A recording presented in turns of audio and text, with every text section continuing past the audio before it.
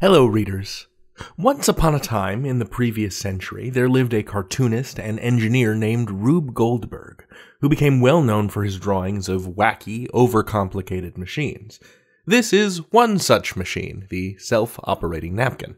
You see how it works is you lift the spoon, which jerks the string, which uh, causes the cracker to leap up into the air, which distracts the parrot, and on and on and on and on and on until finally uh, you cut the string, which releases this pendulum attached to the clock, which has a, a napkin on the end of it which swings back and forth, repeatedly bonking you in the face.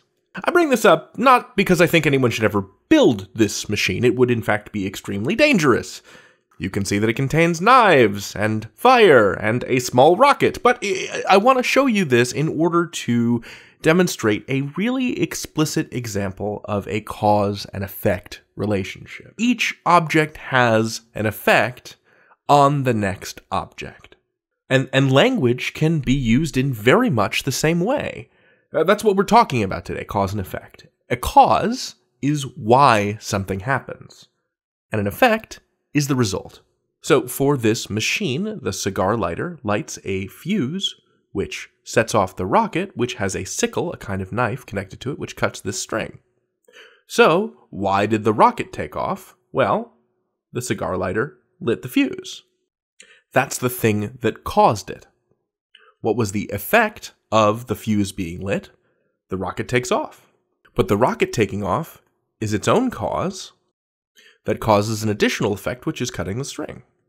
We can see this very clearly in writing when an author gives us clue words about how information is connected, about how or why things happen in a text. So, with that in mind, here are some words that signal cause because, since, due to, as a result of. Whereas here are some words that signal effect. So, this is why, consequently, therefore, and led to. Certainly, these aren't the only words or phrases that signal cause or effect, but they are useful ones to look for. It's important to remember that cause and effect doesn't always go left to right. It's not always going to be as straightforward as, because I was tired, cause, I took a nap, effect. Like, it's not always going to go cause to effect. You could just as easily write that sentence in the opposite order. Right? I took a nap, effect, because I was tired, which is the cause. The nap doesn't cause me to be tired. I was tired, which is why I napped. You can't just figure this out by looking at the, the sentence and the order the words come in.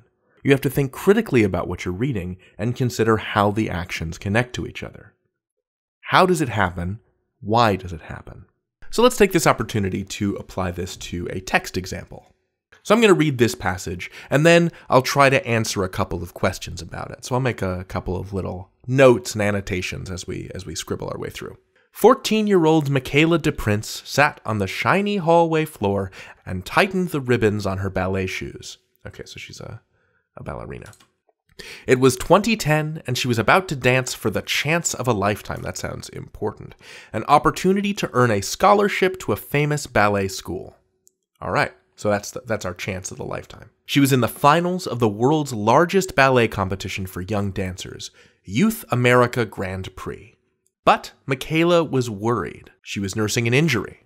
Michaela understood that dancing on her injury could snap a tendon ugh, that could put an end to all of her hopes and dreams. A tendon is similar to a muscle, it, it helps you move parts of your body. Michaela was devoted to ballet. She had spent thousands of hours practicing. She had worked incredibly hard and had overcome many challenges to make it to this point. So when they called her on stage, she danced. And here we have so, which is one of our one of the the words that we're looking for that signals that there's a cause effect relationship. So question number 1, why was Michaela worried? Michaela was worried. We can even do this by filling out a little form, right? Have our little underline, the cause was here, the effect goes here. So what what is the cause of that worry? So in the effect box I'm going to say worry. That's the effect. But why is Michaela worried? Well, she was nursing an injury. And not just that she was injured, but if she pushed that injury too far and snapped a tendon, it could put an end to all of her hopes and dreams. That is extremely serious. So that injury represents a lot more than just temporary pain. It represents a possible end to her hopes and dreams. So, what that injury could be, its potential outcomes, its potential effects, are what are causing her to worry. Another question is why did she dance despite her injury? So, I'm going to say that the effect is that Michaela danced. And we can see uh, a couple of explanations in the text, right? First of all, they called her on stage, so she was asked to do it, and she danced. But why did she dance even though she was injured? Part of it is that she'd already overcome many challenges. She'd spent thousands of hours practicing, she'd worked incredibly hard. And also, here was this opportunity of a lifetime. So even though she was hurt, she still danced. And she did it because she was so devoted to ballet that she wanted to get that scholarship to the ballet school. So I'm going to say that the cause the reason that Michaela danced, even though she was injured, is because the opportunity was so great. So, the opportunity, the chance to earn a scholarship to the ballet school, that's the cause, and the effect of that is that Michaela chose to dance even though she was injured. And finally, what happened when they called her on stage? What did Michaela do? Well, it's right there at the very end of the paragraph. When they called her on stage, she danced. What makes this passage challenging is there's not a lot of uh, clue words that that tell you explicitly, hey, this is a cause and effect relationship. We've only really got this so.